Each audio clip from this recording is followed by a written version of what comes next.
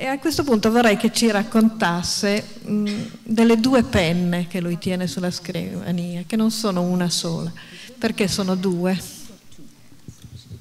Well, first of all, you understand from Elena's question that I don't write with a computer, I write with pen. And yes, I have two pens on my desk, one black and one blue. Each time I agree with myself 100%, I don't write a story. I write an angry article telling the government to please go to hell. The government reads my article and it doesn't go to hell for some reason. But I have been writing the same article probably 500 times now. The other pen I use when I don't agree with myself 100%. When I hear more than just one voice inside me, when I hear many voices inside me, I know I am pregnant with a story because the different voices develop into different characters. Uh, there is an old Jewish Hasidic tale about a rabbi who, in his capacity as a judge, had to issue a sentence between two individuals who claim the same goat. One man says, says, This is my goat, and the other man says, No, no, no, no, no, this is my goat. And the judge, the rabbi, decrees both of you are right.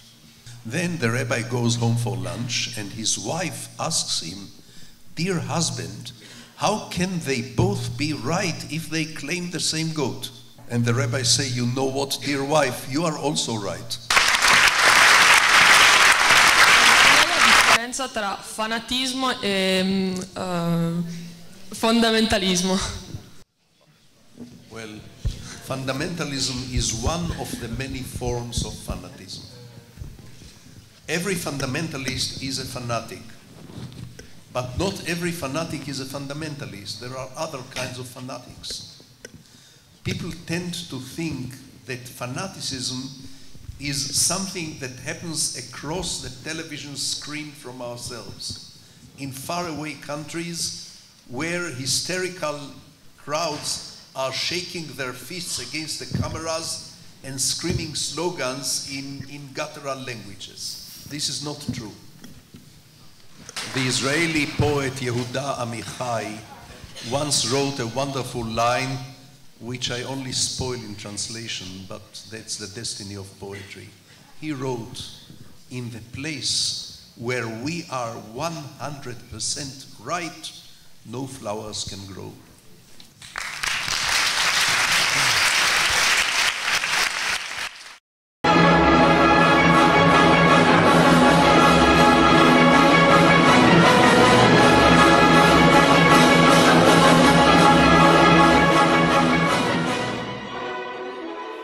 Grande scrittore è- non è qualcuno che scrive difficile, ma è qualcuno che eh, quando tu, lettore, tu il lettore lo leggi, hai l'impressione che ti parli direttamente al cuore e al cervello.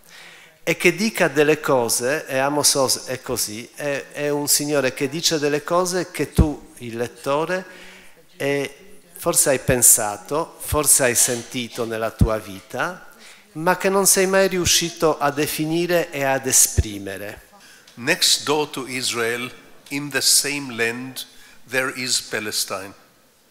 The clash between Israel and Palestine is not a Hollywood movie with good guys and bad guys. It is a tragic clash between right and right. The only possible solution is a painful historical compromise. I believe in compromises not only between Israelis and Palestinians, I believe in compromises as a way of life. Now, I know that young people, especially young idealists, don't like compromises. Young idealists tend to think that compromise is dishonest, that compromise is not consistent, that compromise is ugly. Let me tell you, in my vocabulary, the word compromise is synonymous with the word life. Anche fi- all'inizio della, della seconda guerra mondiale, quindi prima della seconda guerra mondiale, a Hitler fu dato un compromesso, cioè non fu ostacolato nella sua grande idea di espandersi per stabilire la pace. La mia domanda è questa. È, riuscirà il compromesso a stabilire una rotta di pace tra tutti i popoli? No, there is one, I'm glad you asked the question because I think there is one great exception to the ability to compromise, and this exception is aggression. I think the ultimate evil in this world is aggression, and I think you cannot compromise with aggression. Aggression has to be repelled.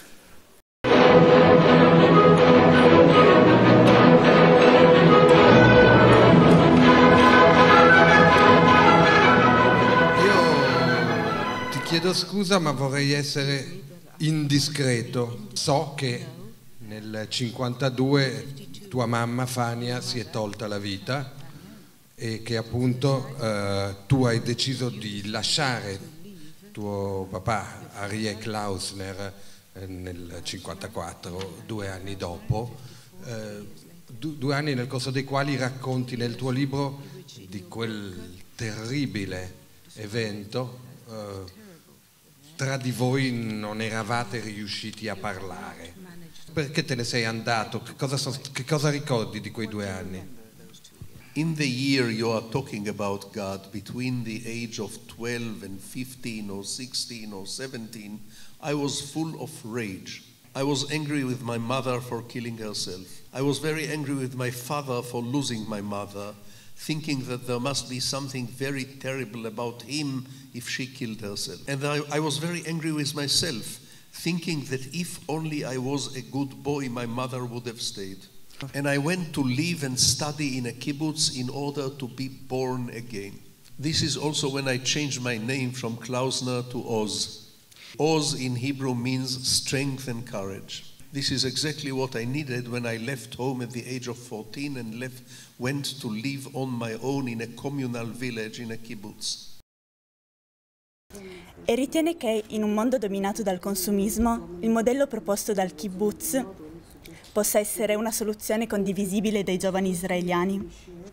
I think kibbutz is a very attractive way of life for people who are not competitive. The kibbutz is the most interesting experiment of the twen- most interesting social experiment of the 20th century, and I think it has a future. Buongiorno, io sono, sono Ernesto Ferrero e vi do il benvenuto a questo che è l'incontro conclusivo del, beh, possiamo definirlo così, trionfale giro di Amos Soz in Piemonte anche a nome di Rolando Picchioni che è presidente del Sonore del Libro. Scopre l'ebraico, è il primo della famiglia a parlare in ebraico, che è una lingua in qualche misura eh, antichissima, però allo stesso tempo modernissima e quindi qualcosa che dà la possibilità agli scrittori eh, di, di- di- di reinventarsela come probabilmente qualche secolo fa fece Dante Alighieri dalle nostre parti. Now, as you said, Alessandro, modern Hebrew is a wonderful musical instrument. Hebrew is a very ancient language, more ancient than Latin, more ancient than ancient Greek. And for 17 centuries, it was as dead as ancient Greek or as Latin. For a writer, there is a huge challenge in such a language. Modern Hebrew is in the phase of being reborn. This is not to say that every one of our writers is a Dante Alighieri, but the temptation is there. I have invented two or three words in modern Hebrew. One of those words came back to me not long ago from a taxi driver who had no idea that I was the proud father of this word. And this is as close to immortality as a mortal can get.